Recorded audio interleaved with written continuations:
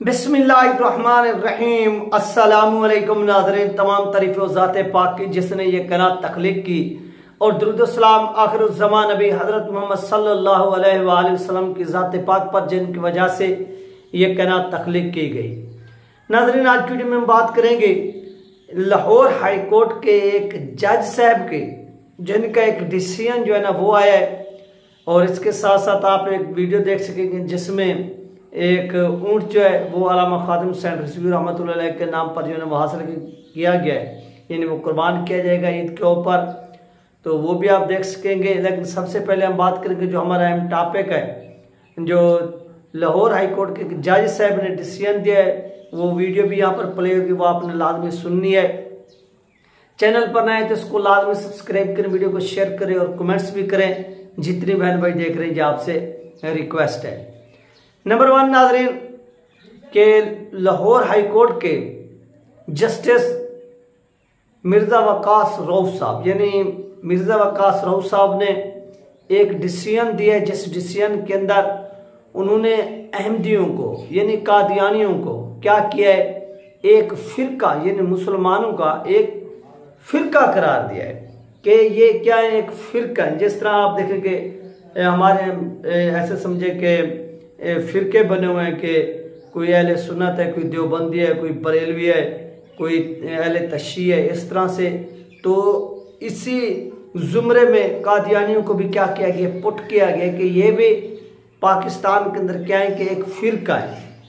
یعنی جس پاکستان کی کنسٹیٹیوشن نے، پاکستان کے آئین نے قادیانیوں کو غیر مسلم اقلیت قرار دیا ہے، انہیں اس سے ایک کیا کیا گیا ہے؟ فرقہ کرا دے گا۔ مزید کیا کچھ کہنا دے پہلے آپ یہ ویڈیو دیکھ لیں۔ شعیب بھائی ہماری عدالتوں کو کیا ہو گیا؟ یہ کیسے قوانین کو لامذہب کر رہے ہیں؟ عبداللہ آپ بالکل ٹھیک کہہ رہے ہیں۔ یہ آپ کے لیے نہیں بلکہ ہمارے سننے والے تمام مسلمان ان سب کے لیے چونکا دینے والی خبر ہے۔ اور وہ یہ ہے کہ دیکھیں آئین کو تو یہ تبدیل نہیں کر رہے لیکن آئین کی ایسی تشریح ایسی انٹرپریٹیشن کر رہے ہیں جس سے ایسے قوانین مرتب کیے جا رہے ہیں جو لا مذہب اور سیکولر ہیں۔ ابھی آپ دیکھیے پچھلے دنوں یعنی بارہ تاریخ کو بارہ جون دو ہزار چوبیس کو لاہور ہائی کورٹ نے ایک فیصلہ دیا ہے جس میں ایک بہت بڑی خیانت کی ہے۔ ایک فیملی کیس ریڈ پیٹیشن 167 2024 ہے اور اس کا فیصلہ جو ہے وہ بارہ جون دو ہزار چوبیس کو دیا ہے۔ ان کی تصویر کو دیکھ لیں۔ یہ لاہور ہائی کورٹ کے جج ہیں۔ ان کا نام ہے مرزا وکاس رعوف اور انہوں نے کام کیا کیا۔ انہوں نے اپنی ججمنٹ کے پیراگراف نمبر 14 میں لکھا ہے کہ in Aziz Ahmad Muslim law page 235 the view of the Ahmadi Qadiani sect of Muslims in this stated یہاں پہ لکھا ہے قادیانی ایک فرقہ ہے مسلمانوں کا.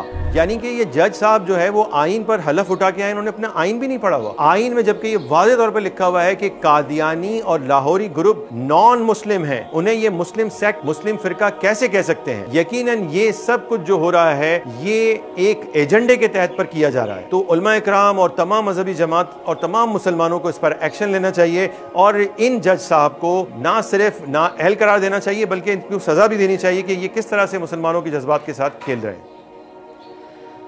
تو ناظرین، یہ تھی وہ ویڈیو جو آپ لوگوں کے ساتھ شیئر کی گئی، آپ نے ملاحظہ فرمائی اب اس ڈیسیجن کو یعنی یہ جو ڈیسیجن ہے، یہ ریٹرن فیصلہ بھی اس کا جاری ہو چکا ہے۔ اس کو تفصیل کے ساتھ پڑھنا پڑے گا۔ یہاں پر جس بھائی نے ویڈیو بنائی ہے، اس میں انہوں نے جو اہم اہم پوائنٹ تھے، وہ تو انہوں نے یعنی یہاں پر دکھا دیے ہیں، وہ آپ سب لوگوں نے دیکھ بھی لیے ان کو ہائی لائٹ کیا گیا تھا۔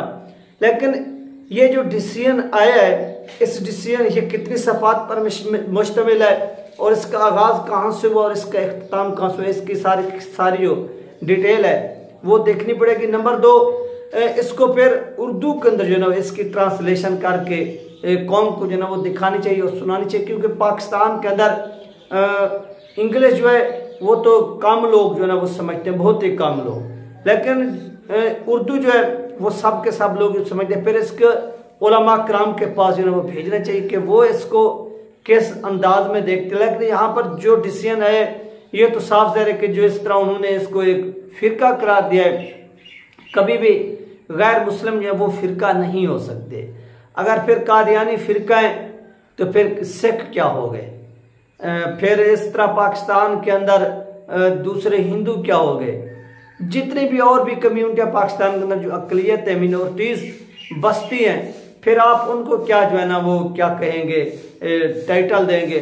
تو اس طرح پاکستان اور آئین کے جو پاکستان کا آئین ہے، جو کنسٹیٹیوشن ہے، جو شخص اس کی خلاف ورزی کرتا ہے ان کو چاہیے کہ وہ پہلے اس آئین کو پڑھے کہ آئین پاکستان کے اندر کیا کہتا ہے۔ ناظرین، پارلیمان کا جو کام ہوتا ہے، وہ ہوتا ہے آئین کو بنانا۔ یعنی جو پارلیمان کے اندر بیٹھے ہوئے لوگ ہیں، یہ تین سو بیالیس پاکستان قومی اسمبلی کے یہ جو رکن ہے ان کا کام ہے آئین کو بنانا۔ عدلیہ کا کام ہے آئین کی حفاظت کرنا۔ یا کسی موقع کے اوپر کیا کرنا ہے؟ اس کی تشریح کرنی ہے، اس کی حفاظت کرنی ہے کہ اگر پارلیمان نے ایک قانون بنا دیا تو اس قانون کے اندر کوئی گڑبڑ نہ کی جائے، اس قانون کو چھیڑا نہ جائے، بلکہ اس کی کیا کرنی چاہیے؟ تشریح کرنی چاہیے، اس کی حفاظت کرنی چاہیے۔ یہ کس کا کام ہے؟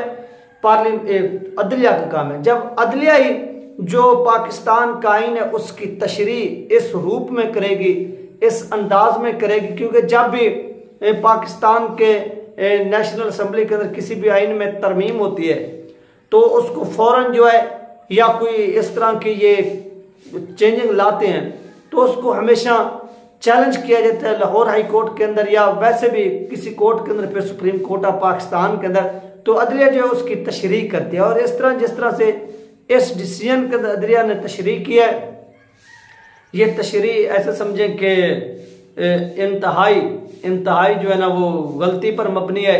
اس کے اوپر جو ہے نا وہ نظر ثانی کرنی چاہیے اور وہ بھی بارہ جون کو آپ دیکھیں کہ ڈیسیجن آ رہا ہے۔ اور اس طرح سترہ جون کو جو ہے وہ عید ہونے جا رہی ہے یعنی دو تین دن قابل عید سے یہ اس طرح کا ڈیسیجن آنا، یہ ایسے سمجھے کہ اس وقت سمجھ نہیں آ رہی کہ یہ ہوا کیا ہے۔ کیونکہ ٹی ایل پی پہلے بھی ایک مقدمہ جو تھا، وہ سپریم کورٹ آف پاکستان کے اندر جو ہے نا، وہ فائٹ کر رہی ہے۔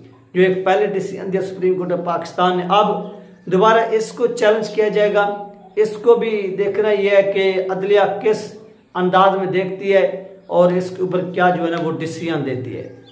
اس کے ساتھ ساتھ ناظرین، علامہ خادم حسین رضوی رحمت اللہ علیہ کے نام پر قربانی کرنے کے لیے اونٹ جو ہے وہ خریدا گیا ہے اور اس اونٹ کو عید کے دن جو ہے نا وہ قربان کیا جائے گا۔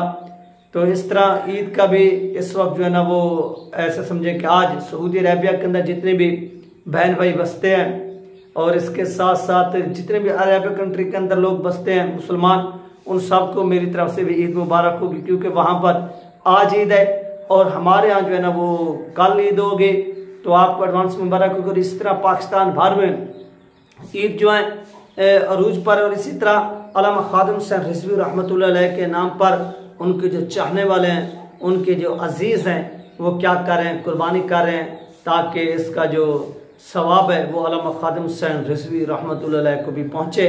تو یہ علامہ خادم حسین رضوی رحمۃ اللہ علیہ کی دین کے لیے خدمات تھیں جو انہوں نے زندگی بھر سر انجام دی اور اس کے نتیجے میں ان کو خراج تحسین پیش کیا جاتے ہیں اور لوگ جو ہیں وہ قربانی ان کے نام پر کرتے ہیں۔ تو یہ ان کی ایسے سمجھے کہ دین کے لیے خدمات ہیں جس میں آپ دیکھیں کہ دنیا کے اندر بھی لوگ انہیں آج بھی اس دنیا سے جانے کے بعد بھی کیا کریں خراج تحسین پیش کریں تو یہ ناظرین، وہ عمل ہے جو آپ سب لوگ کر سکتے ہیں اور اس طرح آپ کا بھی نام زندہ جو ہے نا وہ رہ سکتا ہے۔ تو یہ علامہ خادم سین رضوی رحمۃ اللہ علیہ کا ایسے سمجھیں جو نام ہے، وہ ہمیشہ زندہ رہے گا کیونکہ انہوں نے کیا کیا ہے؟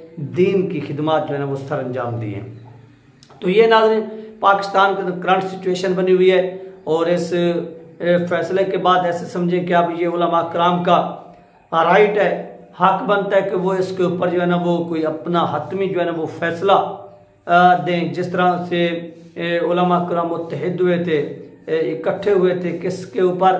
ناظرین علماء کرام اکٹھے ہوئے تھے۔ جب مبارک ثانی قادیانی یعنی کیس ہے اب اس کے فیصلے کو سپریم کورٹ آف پاکستان کے اندر جو ہے نا اگین چیلنج کیا جائے گا، سپریم کورٹ آف پاکستان اس کو جو ہے نا وہ کس روپ میں دیکھتا ہے یا اس کے اوپر جو ہے نا وہ کیا ڈیسیزن دیتا ہے، یہ بھی سپریم کورٹ آف پاکستان کے اوپر ڈیپینڈ کرتا ہے۔ اور کبھی امکان ہے کہ سپریم کورٹ آف پاکستان جو ہے وہ اس ڈیسیجن کو اپنی پہلی سماعت کے اندر جو ہے نا وہ اڑا کے رکھ دے گا۔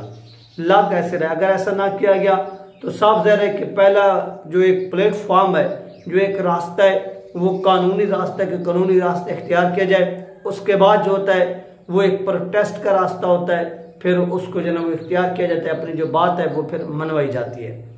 یہ تھی ناظرین، اہم ترین اپڈیٹ جو آپ لوگوں کے ساتھ شیئر کی گئی ہے۔ اس سوال سے جیسی مزید اپڈیٹ ملے گی۔ وہ بھی آپ لوگوں کے ساتھ شیئر کر دی جائے گی۔